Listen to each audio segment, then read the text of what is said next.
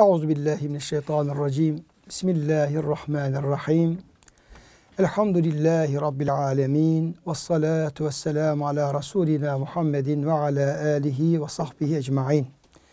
اللهم صل على سيدنا محمد طب القلوب ودوائها وعافية الأبدان وشفائها ونور الأبصار وضيائها وعلى آله وصحبه وبارك وسلم. Teslimen kesiran kesiran. Muhterem dinleyenlerimiz, hepinize Üsve-i Hasene programından muhabbetlerimi, saygılarımı, hürmetlerimi arz ediyorum. Cenab-ı Hak sizlere, bizlere, bütün ümmeti Muhammed'e huzur, itminan, sekinet, mutluluk, saadetler nasip eylesin. Biz Üsve-i programında sevgili peygamberimizin örnek hayatını, örnek kulluğunu ele almaya çalışıyoruz. Efendimizin namazları, özellikle nafile namazlarını devam ediyoruz işlemeye ve bugünkü dersimizde Resulullah Efendimiz Aleyhisselam'ın yine kılmayı ihmal etmediği, Rabbine teşekkürünü ve dua ve niyazını arz ettiği e, nafile namazlardan şükür namazını ele alacağız. Şükür tabi Allah'a şükretmek çok önemli bir kulluk vazifemiz.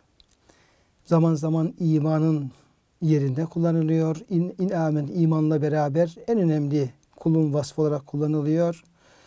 Ayet-i kerimede ma yef'alullahu bi'azabikum in şekertum ve amentum ve kânallahu şakiran alima.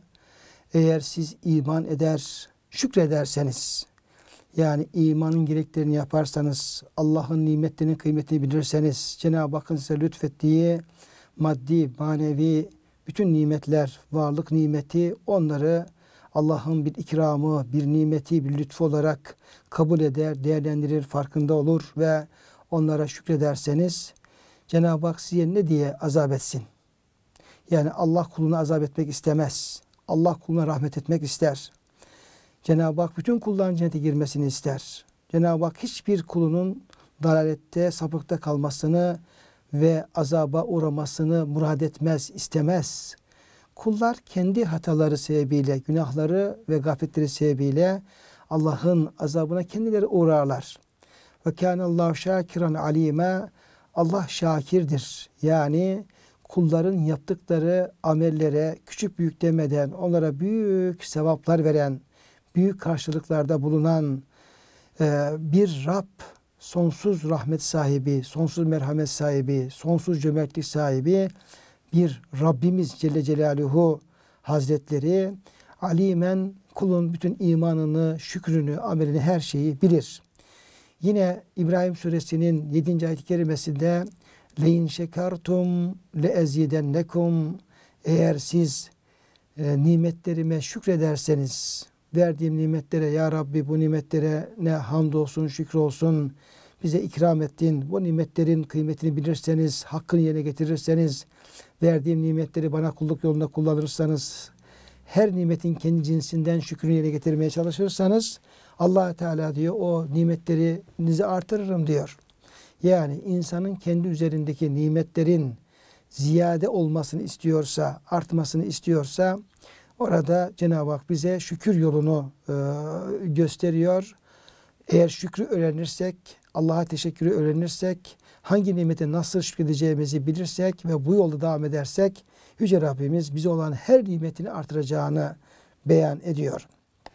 Böyle e, şükür kulluğun çok önemli bir e, yönünü teşkil ettiği gibi kıymetli dinleyenlerimiz Efendimiz Aleyhisselam böyle sevindiği zamanlar e, bir müjde geldiği zaman, kendisini sevindirecek bir haber geldiği zaman, bir böyle e, güzel bir hal, durum ortaya çıktığı zaman Cenab-ı Hakk'a teşekkürünü arz etmek üzere Ya Rabbi sana şükür olsun demek de güzel bir şey ama namaza dururlardı ve namaz kılarlardı.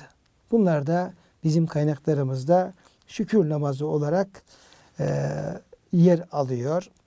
Mevlana Hazretleri e, bunu çok güzel misallendiriyor. Kulun e, Rabbine e, şükretmesini ve nimetin devam etmesi açısından şükrün önemini ve şükretmediğimiz zaman nimetin zevalini diyor ki e, şükür diyor nimet memesini emmektir. Şükür nimet memesini emmektir. Meme ne kadar dolu olursa olsun süt onun ucuna kadar gelmez. Nimeti artırmak için onu emmek lazımdır diye yani o şükretmek ettikçe o nimetin artıracağını, devam edeceğini böyle güzel bir şekilde dile getiriyor. Efendimiz sallallahu aleyhi ve sellem sevindiğinde veya sevindirici bir haber aldığında Allah'ın bu ihsanına şükretmek için hemen secdeye kapanır. Yani bir manada şükür secdesi yapar ve namaz kılardı. Burada kıymetli dinleyenlerimiz tabi şükür secdesi de e, bizi konumuzu ilgilendiriyor ve o da e, önemli bir husus. E, aynen e, şükür secdesi de tilavet secdesi gibidir. Abdesti bir şekilde şükür secdesine niyet edilir. Eller kaldırılmadan Allahu Ekber diyerek tekbir alınır. Secdeye varılır. Mümkün olduğu kadar uzun secde yapılır. Sonra da kalkılır. Yine secdede de e, malum olduğu üzere Sübhane Rabbiyel Ala, Sübhane Rabbiyel Ala diyebildiğimiz kadar o tesbihatı devam etmek suretiyle bu da şükür secdesidir. Yani tilavet secdesi e, Kur'an-ı Kerim okurken e, secde ayeti geçtiği zaman yaptığımız secdeye tilavet secdesi diyoruz. Onun da tarifleri var. Yani yine Allah'a Ekber diyerek e, secdeye kapanıyoruz. Abdestli olmak şartı var şüphesiz. Ve bir de bir secde yapıyoruz. Üç defa Sübhan Rabbiyel Ala diyoruz ve kalkarken de Semiyana ve ata'ana ufranik Rabbena ve ileykel masir. Ya Rabbi işittik, itaat ettik, bizi bağışla, dönüş sanadır diye söylüyoruz. Bu şükür secdesi de buna e, benziyor. Sadece e, kalkarkenki o dua kısmı e, yok. E, secdede olabildiği kadar Rabbimizi tesbih ederek Cenab-ı Hakk'a yakınlığımızı e, farkına vararak böyle bir secde yapmaya da şükür secdesi diyoruz. Yani bütün bunlar ister tilavet secdesi olsun, ister şükür secdesi olsun, ister şükür namazı olsun. Bütün bunlar muhterem dinleyenlerimiz hep yani gönlen, kalben Allah'a yakın, Allah'ın huzurunda, Allah'ın kulluğunun bilincinde yani her vesile onu Allah'a zikre götüren, her sebep onu Allah'a secdeye, rüküye götüren, her e, bir e, vesile e, bulup da Cenab-ı Hakk'a daha özel manada bir yöneliş, bir inabe, bir tövbe, bir niyaz, bir tazarru hali yani bütün bunlar kulla oluşması beklenen bir kulluk hali ve kulluk şuurudur. Tabi bu şuuru Resulullah sallallahu aleyhi ve sellem Efendimiz tabi çok yoğun bir şekilde yaşıyor. Yani her şeyiyle yani kalbiyle, kalbi zikriyle, düşüncesiyle, bütün kabiliyetleriyle, bütün azalarıyla, tefekkür dünyasıyla Efendimiz Aleyhisselam'ın o kulluk yoğunluğu e, bizim onu ölçmemiz mümkün değil. Bizim o okyanusun derinliğini e, ne kadar olduğunu tespit etmemiz mümkün değil. O derinliğin dibine varmamız mümkün değil. Biz sadece bu rivayetler, okuduğumuz bilgilerden hareketle Resul Efendimizin yaşadığı o fevkalade derin kulluk halinin şuurunun bize yansımalarını e, sadece dalgaların şıkırtılarını duyacak e, derecede, seviyede bir algıla, algılama, algımız söz konusu. Yani ama o kadar bilgi var, o kadar rivayet var, o kadar Efendimizin o kulluğu ilgili elimizde e, malumatlar var ki bütün bunların hepsi bir şeyi gösteriyor. Allah Resulü sallallahu aleyhi ve sellem Efendimiz gerçekten onun gönül dünyası, kulluk hayatı, Rabbi beraberliği, Cenab-ı Hakk'ın huzurunda e, bir mahşer aydınlığında kulluk yaşaması, her haliyle Allah'ın e, kendisini gördüğü, bildiği, şuuru hareket ettiği müthiş bir murakabe hali, ihsan seviyesinin zirvesi orada yani kelimelerimizin, cümlelerimizin ifade yetmediği muazzam bir muhteşem bir kulluk sergilendiği ve e, duygu olarak da çok derinlere doğru bu işin uzandığı hissediliyor. Hissediliyor. İşte bütün bunlara bizi de aynı yola davet ediyor. Aynı e, güzelliğe davet ediyor. Allah'a davet ediyor bütün bunlar. Biz de bu e, düşünceyle e, bu bilgileri öğreniyor ve bunları yerine getirmeye çalışıyoruz. Demek ki Efendimiz Aleyhisselam'ın e, önemli e, örnek hayatı ve davranışı sevindirici bir haber gelince ve kendisini mutlu edecek bir durum söz konusu olunca şükür secdesine kapanması ve namaz kılması Allah'a bu şekilde e, şükrünü ifade ve ifa etmesi. Enes bin Malik radıyallahu anh şöyle e, anlatmaktadır. Nebi Ekrem sallallahu aleyhi ve sellem bir ihtiyacının görüldüğü hususunda müjdelenmişti. Dedi ki ya Resulallah şu oldu, şu yerine geldi, şu vazife tamamlandı, şu gedik kapatıldı, bir ihtiyaç giderilmiş oldu. Bunun üzerine Efendimiz Aleyhisselam hemen secdeye kapındı. Yine aynı şekilde ashab-ı kiramda sevindikleri anlarda şükür namazı kılmışlardır. Onun da örneklerini görüyoruz.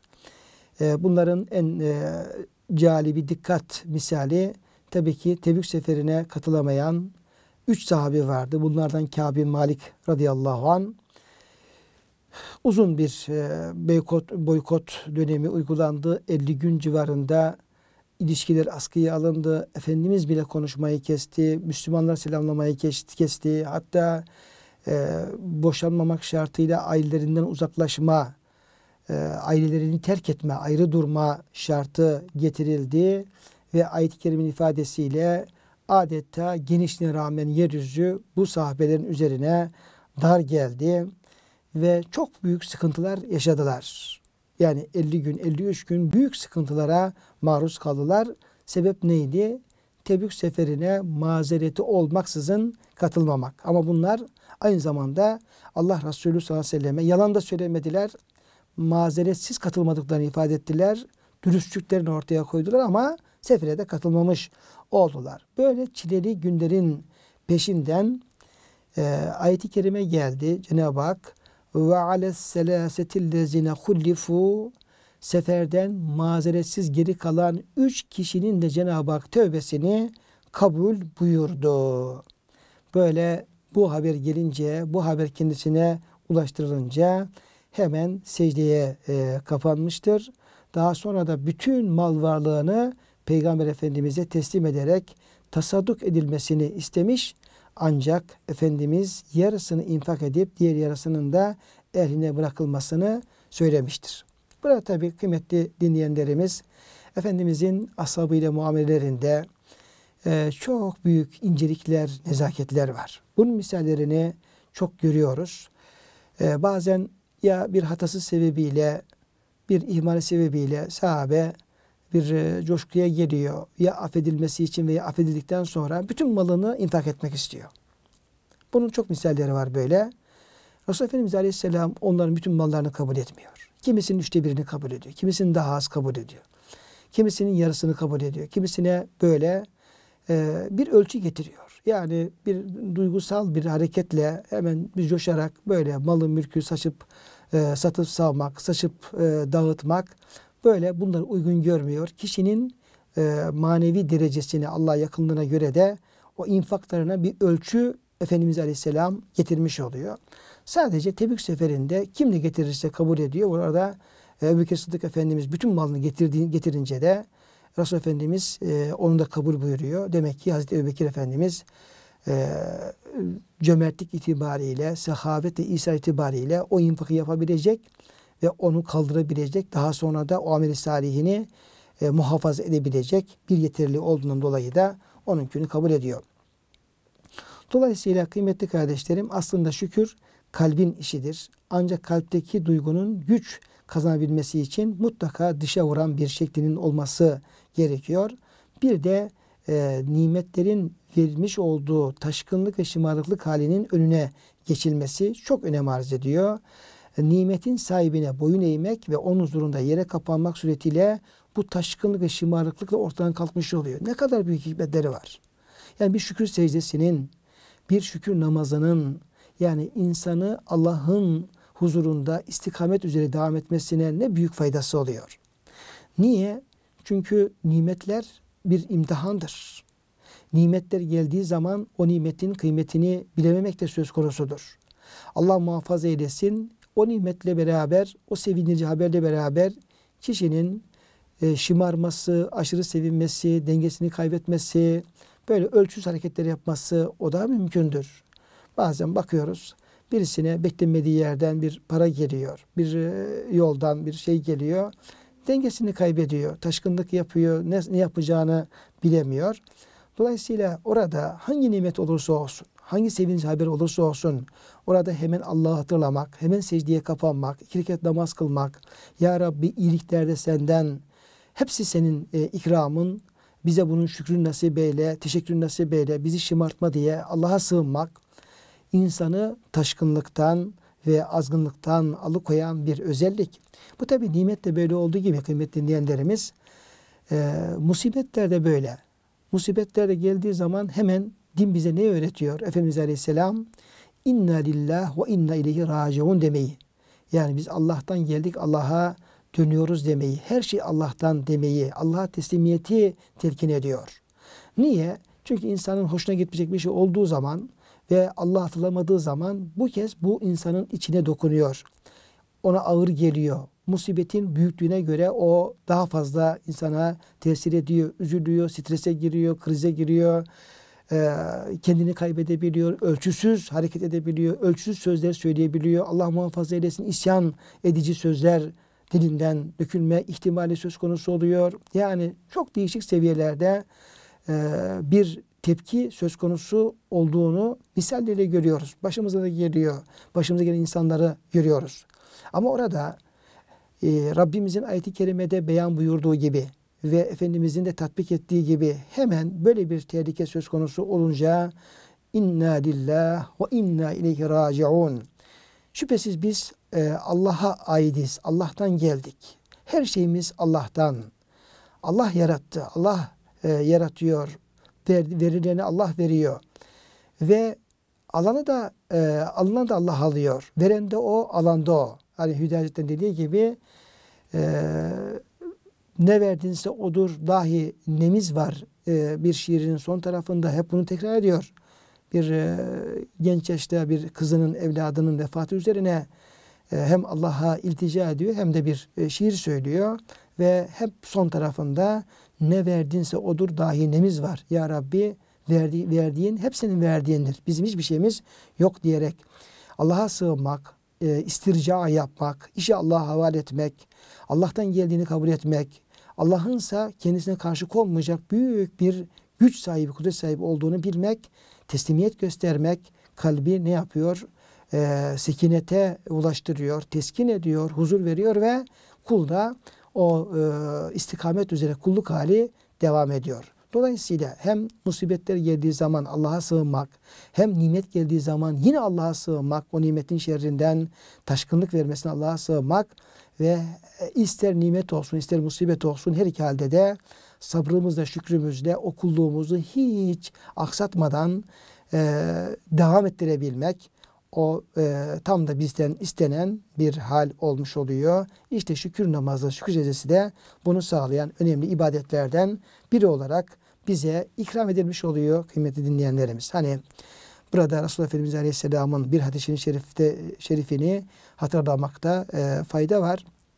Yine aceben li emril e, mümini inne emra küllehu hayrun diye başlayan bu müminin işi ne kadar da cali dikkattir. Ne kadar hoşa giden bir durum vardır müminin.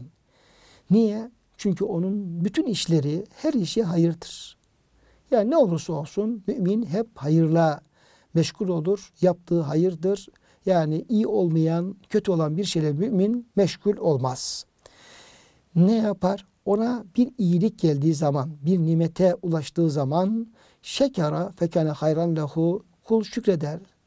Ya Rabbi sana şükür olsun der. O nimetten infak eder. Şükür serisine kapanır. Şükür namazı kılar ve bu nimet onun için hayır olur. Ve in asabehu şerrun kendisine bir kötülük geldiği zaman bir böyle sabretmesi gereken bir olumsuz durum söz konusu olduğu zaman o zaman da fesabera fekane hayran lehu sabreder ve o da onun için hayırlı olur. İşte her bakımdan müminin bu şekilde amel işi mahsa hayırdır, berekettir buyuruyor Efendimiz Aleyhisselam.